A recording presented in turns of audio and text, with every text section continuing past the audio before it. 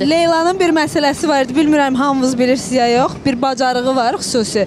O o çox geniş kütləyə çıxıb mən rəyləri oxudum.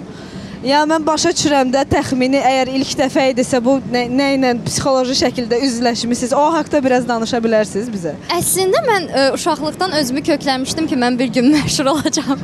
Sadəcə bu şəkildə olacağını heç bilmirdim. Çünki mən ə, beynəlxalq münasibətlər üzrə təhsilim var.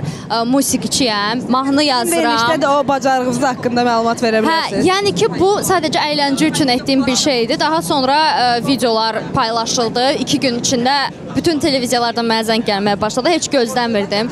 Çox belə heç vaxt yaşamadığım hissləri yaşayırdım, amma buna paralel olaraq ə, çoxlu bullyinqə məhsul qalırdım və ailəm əsəbləşirdi. Girib Təsəvvür onlarla dava edirdilər. Mən də onları dayandırmağa çalışırdım. Təsəvvür edirsiniz, bilməm kimi kimi gizlədim də ki, yəni eləməyin də belə şeylər olan. Ailə, dostlar, ailəm qarışır bir-birinə o. O, bacarığınızı burada da nümayiş elətdirə bilərsiniz bizə. Hə, hə. indi. Sakitçilikdir. Sakitçilik bir dənə baxın yəni. Mən mən baxanda çox belə təəssürat bağışlamışdı belə.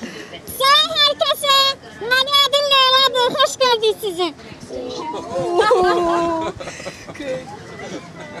Bax məsələn metroda növbəti stansiya falan deyə bilərsiniz onu. Qara qara evdirsə deyə. Növbəti stansiya Qara Qarayev.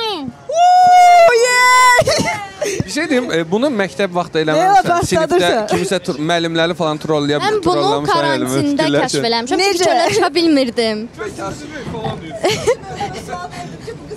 Bu qız bunu necə eləyir? Necə kəşf eləyib yəni? Hə necə kəşf edir? Necə gəlib buna və necə eləyir bunu ikinci sual. Karantin. Bir şey. Karantin. Mən çox kreativ bir insan elədi.